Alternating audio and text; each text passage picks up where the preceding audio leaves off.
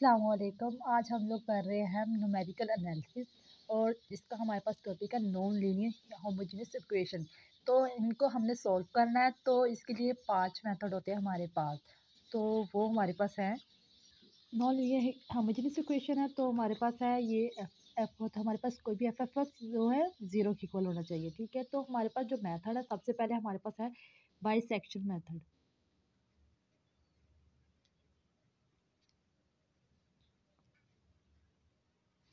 आगे है regular फालसी method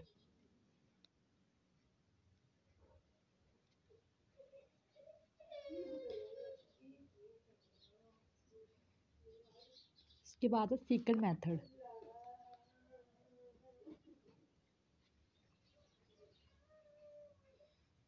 fourth है हमारे पास न्यूटन मेथड एप्सन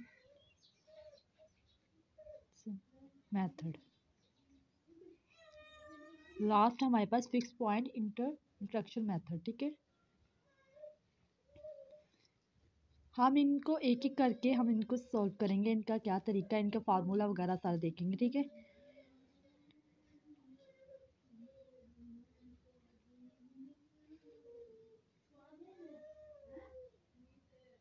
ठीक है? तो सबसे पहले हम डिस्कस करेंगे यहाँ पे, जो है ना बाइसेक्शन मेथड को।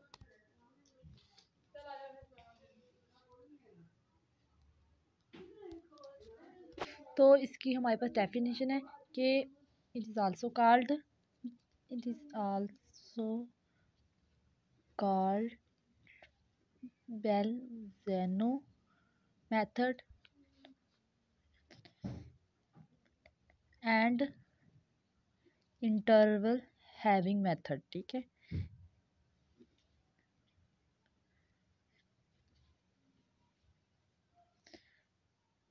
तो ये हमारे पास है सेक्शन मेथड को हम लोग बेलजेलो मेथड भी कहते हैं और इंटरवल हैविंग मेथड भी कहते हैं। तो हम अभी इसे क्वेश्चन के साथ सॉल्व करेंगे। तो हमारे पास क्वेश्चन है। तो ये हमारे पास क्वेश्चन है कि F of X is equal to E X minus L N L N X S minus twenty तो हमें पता जो हमारे पास एफ़ ऑफ़ एक्स वो किसकी इक्वल है? ज़ीरो के। तो ये हमारे पास, ये sorry E X minus L N X minus twenty is equal to zero के इक्वल है, ठीक है? तो अब हमने ये इंटरवल फाइंड कर लेना है। तो हमारे पास जो इंटरवल होता है, वो उनकी वैल्यू ए मिसाल के तो तो एफ़ मतलब कि इनकी जो वैल्यूज़ आएगी एफ़ मतलब F O A F O B हमारे पास लेस दैन ज़ीरो मतलब कि इनमें से एक की वैल्यू पॉजिटिव हो और एक की नेगेटिव होनी चाहिए।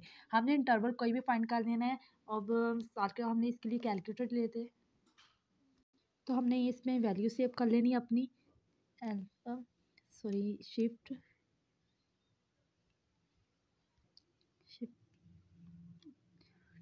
अब alpha A minus L N N natural हो गए।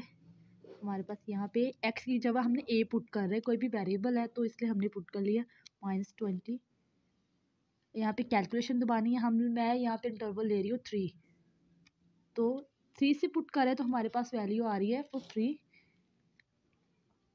minus one point zero one three one. तो और मैं फोर लेती हूँ साथ, ठीक है? यहाँ पे हम कैलकुलेशन दोबारा ये अप्लाई करेंगे, फोर तो हमारे पास आए thirty three point twenty, four से thirty three point two one one nine. तो हमारे पास ए की वैल्यू आ गई, हमारे पास थ्री और बी की वैल्यू आ गई। हमारे पास फोर तो सी सी की वैल्यू अब हमने यहाँ पे सी फाइंड करने का हमारे पास फार्मूला है A plus B over two ठीक है? ये हमारे पास सी को फाइंड करने का फार्मूला है. तो हमने इनका टेबल बनाना है. हमने ये क्वेश्चन तब तक करते रहना है वैल्यूज़ जब तक हमारे पास सी की वैल्यू या तो ज़ीरो हो जाए या फिर वो रिपीटेड हो जाए. तो हमारे पास ये table A B F of A F of B C F of C ठीक है? ए हमारे पास क्या लिया हमने? थ्री बी फोर उसके बाद एफ़ ऑफ़ ए हमने ले आ, क्या हमारे पास आया था? जब ए की वैल्यू पुट करके तो minus one point zero one three one और एफ़ ऑफ़ बी हमारे पास क्या आया था? Thirty three point two one one nine और सी हमने फाइंड करना तो हमने कैलकुलेटर पे करना है। हम्म, यहाँ पे ए वेरिएबल हम कोई भी पुट कर सकते हैं। प्लस बी और टू कैलकुलेशन ए की वैल्यू हमारे पास क्या है? थ्री है। कैलकुलेशन बी की वैल्यू हमारे पास फोर है। तो ये हमारे पास वैल्यू जो आ रही है वो three point five zero zero zero है। ठीक है? तो हमने फोर डेसिमल तक चेक करना है तो इसलिए हमें फोर डेसिमल तक जब तक हमारे पास ऑल वैल्यू सी के ज़ीरो ना हो जाए, हमने क्वेश्चन को करते रहना है। ठीक है? अब हमने फ़ंक्शन में वैल्यू पुट करनी है। फ़ंक्शन अब हमने फ़ंक्शन में वैल्यू सी की पुट करनी है तो यहाँ पे कैलकुलेशन तो ए बता रहा है, लेकिन हमने वैल्यू सी की बतानी three point five zero zero zero तो ये हमारे पास आ गई वैल्यू एफ़ ओ सी की। और अब हमने यहाँ पे वैल्यू अब ए की रखनी है, अब पॉजिटिव अगर वैल्यू आए तो हमने पॉजिटिव के साथ चेंज करना है, अगर नेगेटिव आए तो नेगेटिव यहाँ पे हमने एफ़ ओ सी लिखना है। पॉजिटिव आए तो पॉजिटिव के साथ या तो हम एफ़ ओ सी की वैल्यू यहाँ पे लिखें eleven point eight six two seven और सी की वैल्यू हमने रख लेनी है बी की जगह। Three point five zero zero zero बाकी हमने सेम ऐसे रख लेनी है। F O A minus one point zero one three one ठीक है? और ऐसे ही हमने ये आगे क्वेश्चन करते जाना, हमारा ये क्वेश्चन हो जाएगा।